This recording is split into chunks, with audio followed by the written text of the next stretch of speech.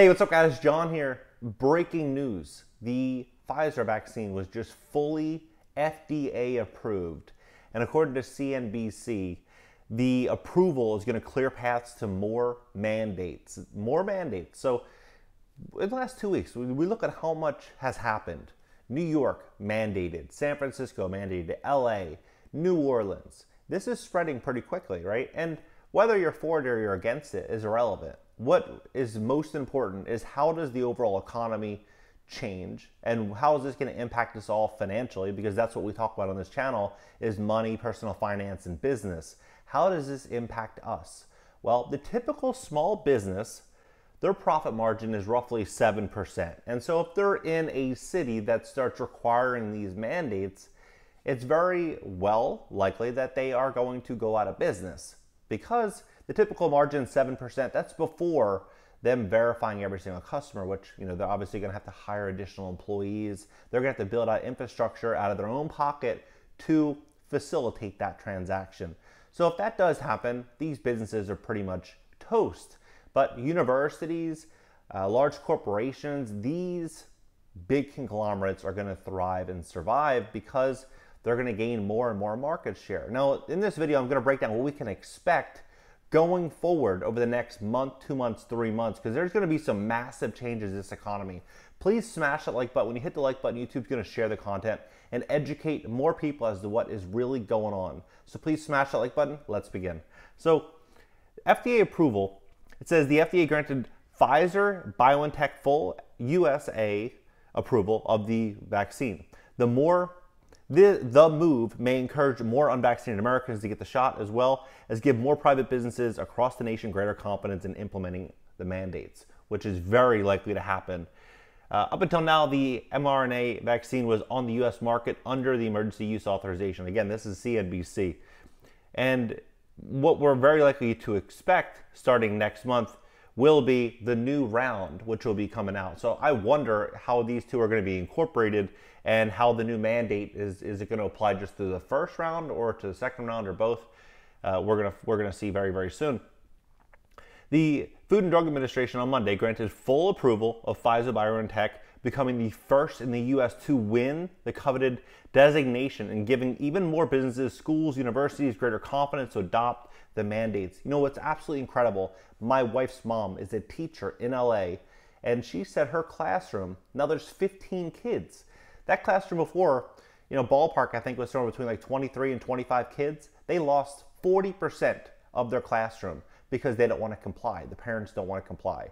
So when you look at how massive that number is, we're not hearing about that on the mainstream media. When you look about how massive that number is, you have to realize how many people are going to be changing out of their jobs? How many people are going to be changing careers that are halfway through a college or university that simply don't want to comply?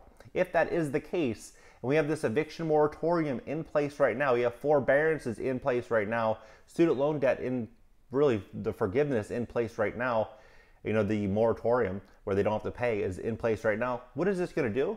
It's going to let people defer the responsibility, and it's the responsibility is going to fall on the middle class, the middle class landlords that are holding all of these units.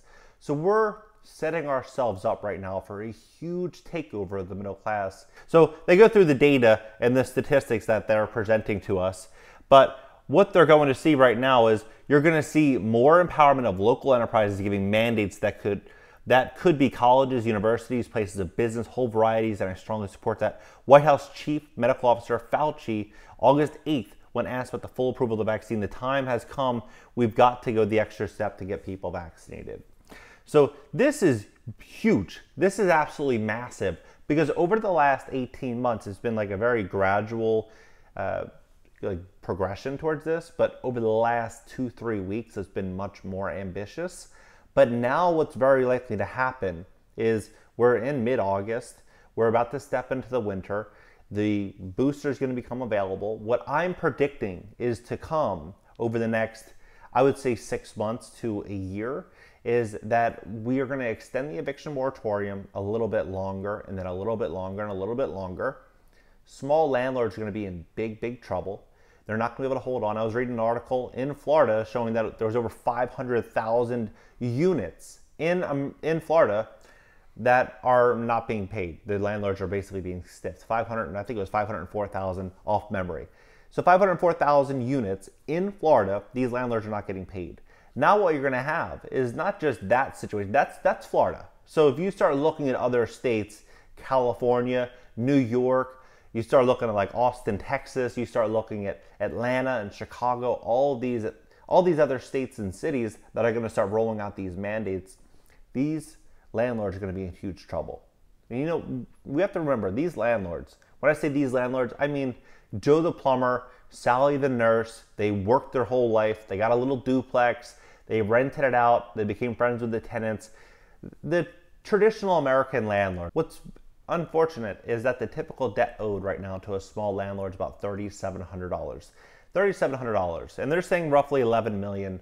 11 million renters are behind on rent in America. About 1.75 million people are behind on their mortgage payments due to forbearance. But what's very interesting is that when you look at the data and statistics on the eviction process and the forbearance process in August 2020, they projected 40 million people would lose their homes. So it seems as though that number has been reduced by 75%. 75% and the economy has not yet been fully reopened. So how can that number be true if in fact you look at a lot of corporations, a lot of employers now offering massive sign-on bonuses. I saw a billboard today driving offering a $10,000 bonus just for taking a job. Now, how can the economy be thriving and things be thriving at that level if they have to offer those types of incentives to get people to work? Now, when we see these numbers, 11 million people behind on rent, I think that number is very low. I think the forbearance number is very low. And I think that what we could very likely see over the coming six months to a year is these numbers balloon as new mandates come and people start really drawing their line in the sand, whether they're for it or against it on where they stand. And I think that this division is going to be only beneficial for large corporations as people spend more and more money online to evade certain restrictions. So the economy right now, I think, is at a very interesting point, and it's just going to be something I think that is going to be a once in a lifetime opportunity. I try to see the best and the best case scenario for all of us. There really is no good scenario here, but what's the best case scenario? You know, the best case scenario is you come up with a good plan. You try to make as much money as you possibly can. You try to make the best decisions you possibly can with the information that's presently available. If we look at the information that's presently available, we can see that opening up a brick and mortar store right now is probably a bad idea. Taking out a big car loan, probably a bad idea. Buying a rental property, probably a good idea at the right price when all of this risk is then factored in. But right now, we look at a lot of these real estate investors going out there buying property now, they're not factoring in that the entire economy is about to change. And they're buying properties based on record breaking numbers, numbers that really don't make any sense. So, what I'm saying is, we're going to see a big change, and there's no doubt about that. And that change is going to offer us all opportunity to make money and the question then becomes is what is the best strategy going forward to minimize risk and to provide more safety and security for yourself and your family.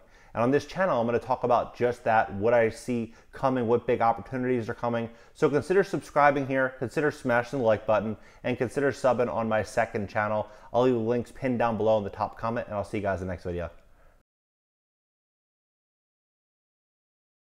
YouTube Success Blueprint. If you've enjoyed this video and want to dive deeper into growing your YouTube channel and create passive income as a YouTuber, check out my YouTube Success Blueprint by clicking the link in the description below this video. One of the richest men in the world, Warren Buffett, once said, opportunities come infrequently. When it rains gold, put out a bucket, not a thimble. I get the feeling that many men and women today are using thimbles instead of buckets. The truth is that we're in a huge wave of opportunity. I'm not suggesting that the current situation hasn't caused any financial damage to people's lives, because it certainly has. You may be one of those who have been fired, transferred, demoted, or had his assets repossessed. When looking up my own channel statistics on Social Blade, you can see that I was able to grow from a mere 11,000 subscribers to 120,000 subscribers in just 15 months. You could do this too, and I wanna show you how. My YouTube Success Blueprint is a complete A to Z guide that teaches you the necessary steps in order to get your channel